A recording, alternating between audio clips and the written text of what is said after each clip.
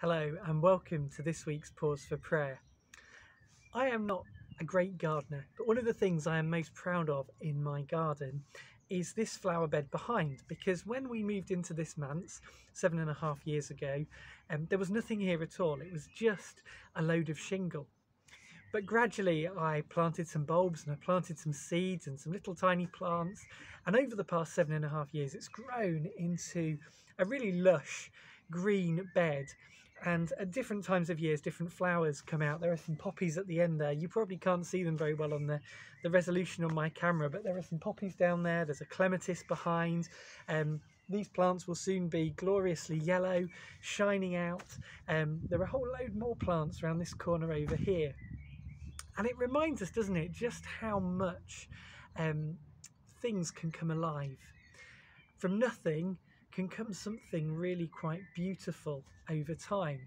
Um, a few seeds, a bit of rain, a bit of sun, and this is what happens. And it reminds me of that passage in 1 Corinthians where Paul is telling the Corinthian church that, that he planted the seed of their faith. Apollos and other church leaders came and watered it, but God was the one who gave the growth.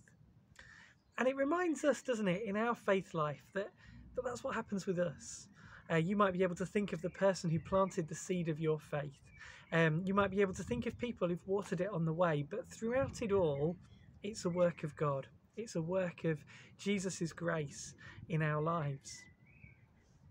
And as part of our, our little series on our vision here on these Pause for Prayers, um, we're thinking today about how we can be participative in our faith and in our church life.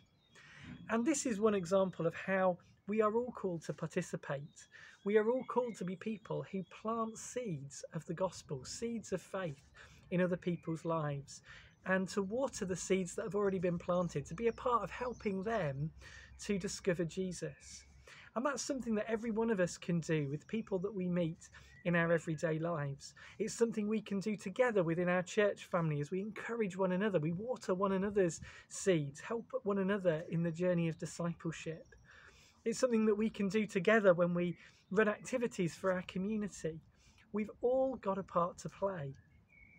One of the things that's important in the life of the United Reformed Church is the priesthood of all believers. Um, we're not a denomination where I, as the minister, have lots of power. Um, the church meeting together holds the authority for the local church. And we're not meant to be a democracy. We often call ourselves a democracy. We're not meant to be a democracy. We're meant to be a theocracy where God's in charge, but all of us are part of discerning what God wants us to do. So I want to encourage you. I want to encourage you, if you are part of our church family, to think about where might God be asking you to get involved? And whether you're part of our church family or not, I, I ask you to, to ask God, how can you plant seeds? How can you water seeds? How can you be a part of this great work of the growth of God's kingdom, of people coming to know Jesus, of people growing into a new life with Jesus throughout their lives, that, that all of us might bear fruit, that all of us might bear these sorts of beautiful flowers that you can see behind me. So let's pray.